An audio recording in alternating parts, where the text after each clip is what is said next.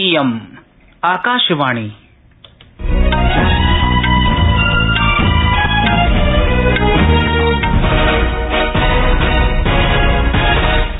सम्प्रति वार्ता श्रूयन्ताम्, प्रवाचक नरेन्द्रदत्त सेमवाल। आदौ मुख्यवार्ता। सर्वकार चतुरशीत्यधिक त्रिशतं औषधीनां एनएलईएम इति राष्ट्रियावश्यक औषध सूचिं प्रकाशितवान्। तेलंगाना राज्यस्य सिकन्दराबादे अग्निदुर्घटनायाम् अष्टौ जना मृता। केंद्रीय अन्वेषण विभागेन जम्मूकश्मीर उपनिरीक्षक नियुक्ति प्रकरण सम्बद्धं त्रयस्त्रिंशत् स्थानेष् सहसान्वेषणं कृतम्।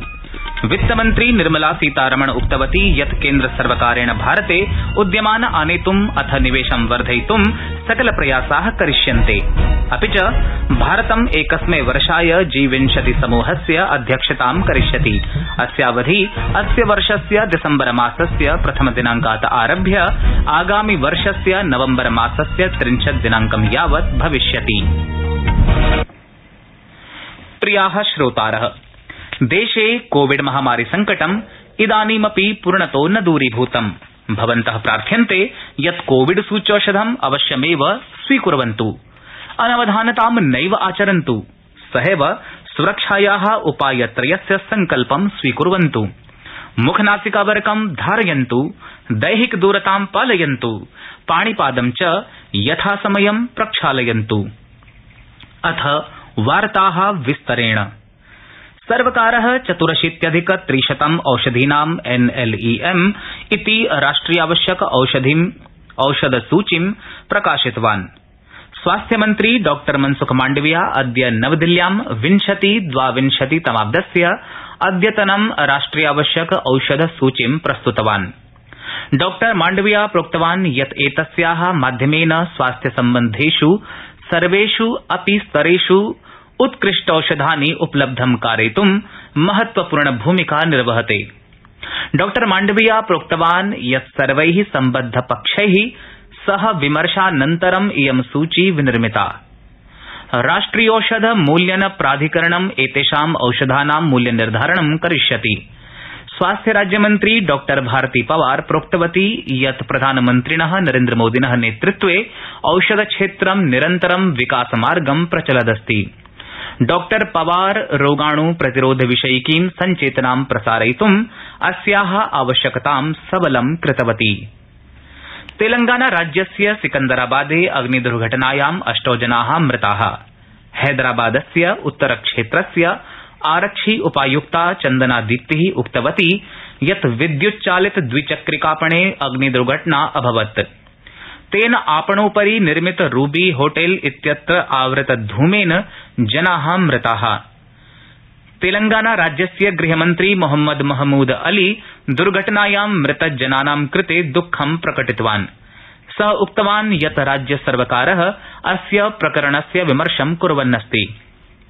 प्रधानमन्त्री श्रीनरेन्द्रमोदी अस्याम् अग्निदुर्घटनायां मृतानां परिवारान् प्रति संवेदनां प्रकटितवान्। अथ मृतानां परिवारेभ्य लक्षद्वय धनराशिदानस्य घोषणाम् अकरोत्। सहैव अस्यां दुर्घटनायां व्रणितेभ्य पञ्चाशत् सहस्र रूप्यकाणाम् अनुग्रह धनराशिदानस्य घोषणाम् अपि कृतवान्। अवधेयं यत् एष धनराशि प्रधानमन्त्री राष्ट्रिय आपदुद्धार कोषात् प्रदास्यते। केन्द्रीयान्वेषण विभागेन जम्मूकश्मीर उपनिरीक्षक नियुक्ति प्रकरण सम्बद्धं त्रयस्त्रिंशत् स्थानेष् सहसान्वेषणं कृतम्। तेष् स्थलेष् जम्मूकश्मीर प्रदेश श्रीनगरं हरियाणाराज्यस्य करनाल महेन्द्रगढ़, रेवाड़ी प्रदेशा, गुजरातस्य गांधीनगरं दिल्ली, गाजियाबाद अथ बेंगलुरू च अन्तर्भवन्ति। अयम् अन्वेषण विभाग जम्मूकश्मीरस्य सेवानियुक्तिविभागस्य पूर्वाध्यक्षस्य खालिद जहांगीरस्य परीक्षा नियन्त्रकस्य अशोककुमारस्य जम्मूकश्मीर आरक्षिबलस्य उप अधीक्षकस्य, अथ अन्येषाम् अधिकारिणां परिसरेष् अन्वेषणाभियानं कुर्वन् प्रकरणमिदमधिकृत्य गतमासे अपि अन्वेषणं कृतमासीत्। अथ असंसदीय गतिविधिष् संलग्नान् त्रयस्त्रिंशत् जनान् विरुध्य प्रकरणं पञ्जीकृतमासीत्। वित्तमन्त्री निर्मला सीतारमण उक्तवती यत् केन्द्रसर्वकारेण भारते उद्यमान् आनेतुम् अथ निवेशं वर्धयितुं सकलप्रयासा करिष्यन्ते। अद्य नवदिल्ल्यां पञ्चदशतमं माइण्ड माइन इति सम्मेलनं सम्बोधयन्ती श्रीमती सीतारमण उक्तवती यत् चीनदेशात् कानिचन औद्योगिकसंस्थानानि बहिर्गन्तुम् इच्छन्ति, अपि च तानि भारतम् आगन्तुम् इच्छन्ति यतो हि भारते व्यापारनीतय अन्यदेशेभ्य उत्तमतरा सन्ति। सा इदमपि अवदत् यत् भारतं निवेशाय उत्तमस्थानमस्ति। वैदेशिक निवेशका अत्र भारते निवेशं कुर्वन्त सन्ति।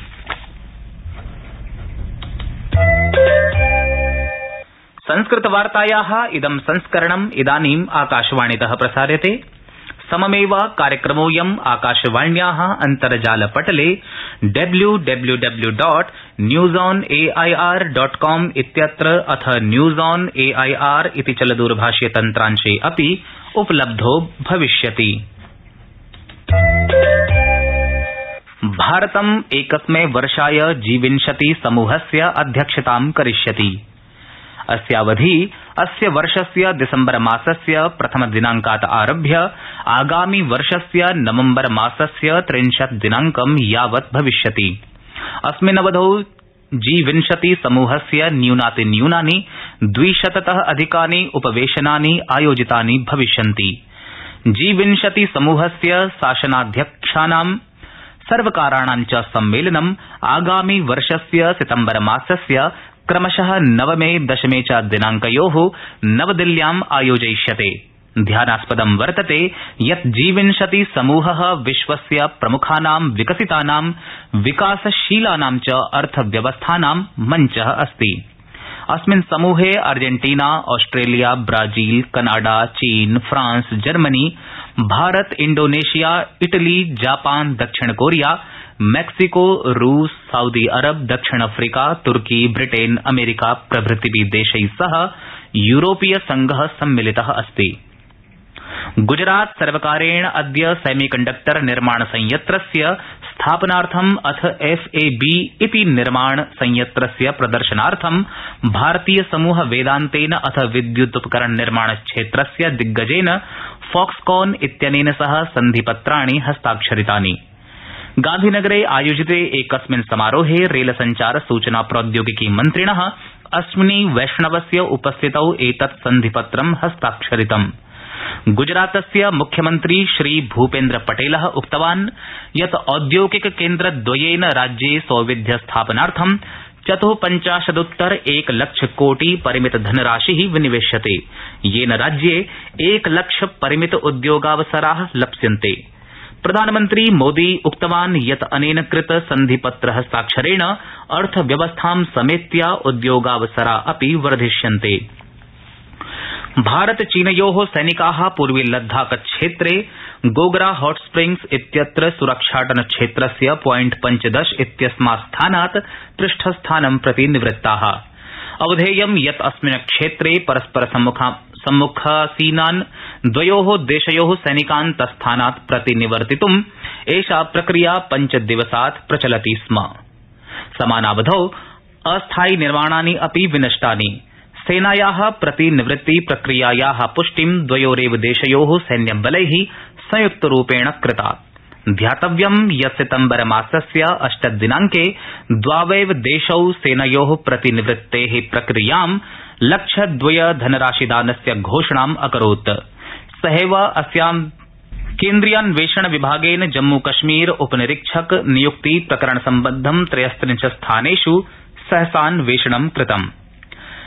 देशे राष्ट्रव्यापी सूच्यौषध प्रदान अभियानान्तर्गतं सप्तचत्वारिंशत् लक्षोत्तर पञ्चदशाधिक द्विकोटिमिता जना सूच्यौषधं प्राप्तवन्त।